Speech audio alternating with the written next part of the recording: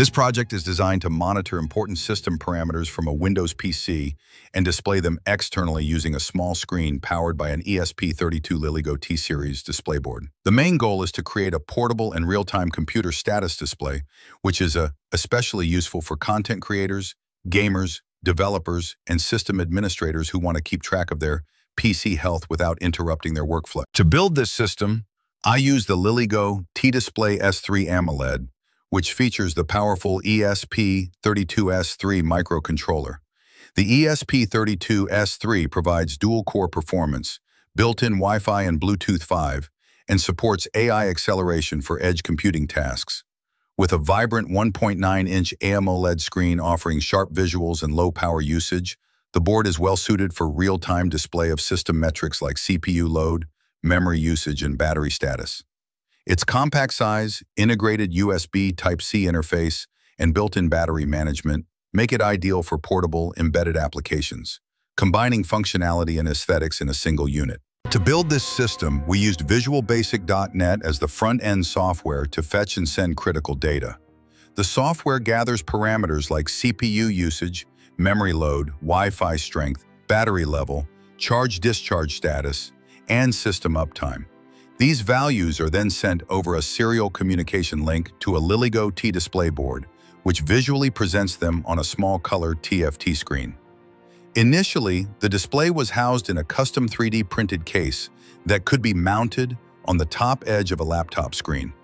Later, the project was improved by using the built-in case of the LilyGo T display board for better aesthetics and portability. Comment it which is looking good and what are the other features I can add. The serial port component in Visual Basic is a built-in tool that allows communication between the PC and an external device like an Arduino or microcontroller through serial communication, typically via USB. It acts as a software interface that opens a COM port and listens for incoming data or sends data out. The serial port is configured with specific settings such as baud rate, parity, data bits, and stop bits to match the configuration expected by the Arduino. Once the COM port is opened, the VB application periodically reads system information using built-in .NET libraries like System Diagnostics and System Management, then formats that information into a single line of text, and finally, sends it to the Arduino over the serial connection. This makes the serial port component a vital bridge between the PC software and the embedded hardware, facilitating two-way data exchange in a very simple yet powerful way. On the Visual Basic application, two different timers are used to manage the system's operations. Timer 1 is responsible for continuously fetching system parameters and sending them to the Arduino. It is set to run at a fixed interval, for example, every 1,000 milliseconds, which equals one second. Every time timer 1 ticks, it collects fresh data, such as CPU usage, RAM usage, system uptime, and other parameters. These values are formatted into a single line of text using predefined tags like CPU colon, RAM used colon, uptime colon, and so on. All the values are joined using commas, and the final string ends with a new line character. This formatted line is then transmitted to the Arduino through the COM port. On the Arduino side, a function called read serial data constantly checks the serial buffer using serial available. If data is available, it reads one character at a time and appends it to a buffer. When it detects a new line character, end, it concludes that one complete message has been received. At this point, the string is passed to either the parse data function or a message handler, depending on whether the string starts with a prefix like MSG or not. This structure allows both numeric data and alert messages to be handled efficiently. The design ensures that even if data arrives in chunks, it will be correctly reconstructed before processing. Working of the parse data function. The parse data function plays a central role in decoding the incoming string. It uses a helper function called getVal which extracts values between predefined tags and delimiters. For example, to extract the CPU load from the string CPU colon 25%, the function looks for the substring starting right after the tag CPU colon and ending at the percent symbol. This value is then stored in a variable like pcdata.cpu. Similarly, memory usage is labeled with the tag mem, and values are extracted between the colon and slash symbols. This allows the system to split the used memory and total memory into two separate fields.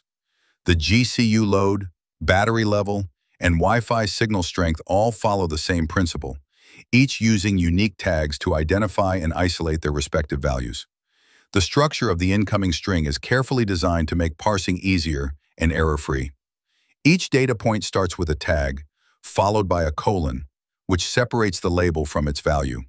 For example, CPU colon 25% clearly identifies that 25% is related to CPU usage. Commas are used to separate each data block, acting as delimiters that help the parser break the full line into smaller chunks. This way, the microcontroller or Arduino can process each segment individually without confusion. At the end of the line, a new line character is added to indicate the completion of one full set of values. This new line acts as a boundary marker so the receiving side knows where the current message ends and the next one begins. The parsed information is then used by the display driver to show meaningful text and visual indicators on the TFT screen. For instance, a progress bar can be updated for CPU load, while textual information like battery percentage or system uptime can be printed directly to the screen. This modular approach makes it easy to add or remove any metric from the system in the future. If a new sensor or data field is introduced, only a small update to the tag list and parsing logic is required. This makes the entire system flexible, scalable, and easy to maintain. The TFT_eSPI library acts as an abstraction layer over the driver, providing functions to draw text, lines, images, and graphs easily.